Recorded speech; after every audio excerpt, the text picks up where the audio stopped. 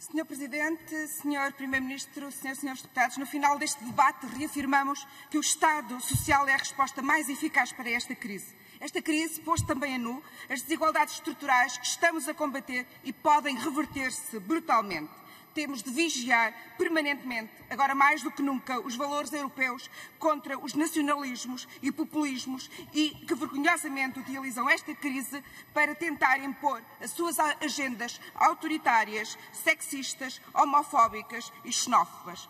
Ao nível económico e do emprego, a crise mostrou a frágil situação das mulheres. As primeiras a perderem emprego, as primeiras a perderem salário. Viveram situações dramáticas de violência doméstica em casa, confinada com os seus filhos. O Governo esteve bem no reforço a medidas de proteção de violência doméstica, em medidas de apoio à família e ao emprego, em estímulos no PEC à economia verde. Senhor Primeiro-Ministro, nesta transição para uma nova normalidade, a igualdade tem de ser, como sempre foi nesta governação, uma aposta central. Atrair jovens mulheres para setores digitais e apostar fortemente na universalidade da escola, da escola digital. Apostar na economia do cuidado é urgente. São apostas que podem mudar o mundo e que nos podem preparar melhor para enfrentar novas crises. Muito obrigada.